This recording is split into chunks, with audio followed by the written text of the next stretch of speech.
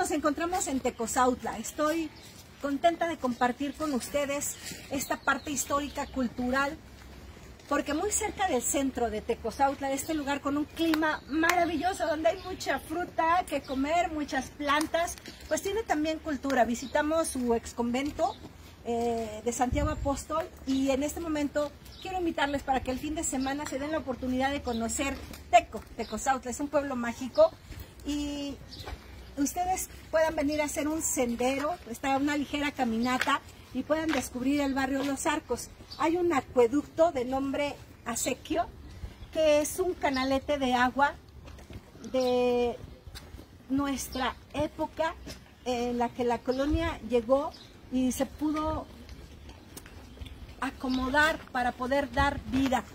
Uno de los habitantes de este lugar decía, el acequio, que es este canal de agua, es el que parió Tecozautla. Me pareció una manera muy romántica. 1628 comenzaron a construir este acueducto y esto es cultura viva, esto es lo que somos, esto es lo que tiene Tecozautla. Es un recorrido que se puede hacer en bicicleta, que se puede hacer caminando, pero sobre todo disfrutar. ¿Saben? Hay nogales, zapotes, bueno, árboles con un follaje tremendo para poder pasear, para poder recorrer lo que son los pueblos mágicos.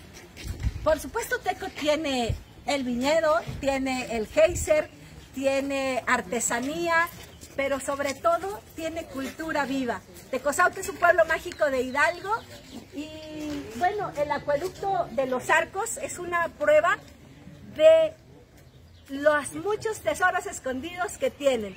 Eh, termina en la presa El Saus y es un recorrido de varios kilómetros. Si tú tienes bici, lánzate a Teco para hacer este recorrido que de verdad es encantador. Hidalgo tiene algo y es lugares por descubrir. Los invitamos este fin de semana a Teco. Sí.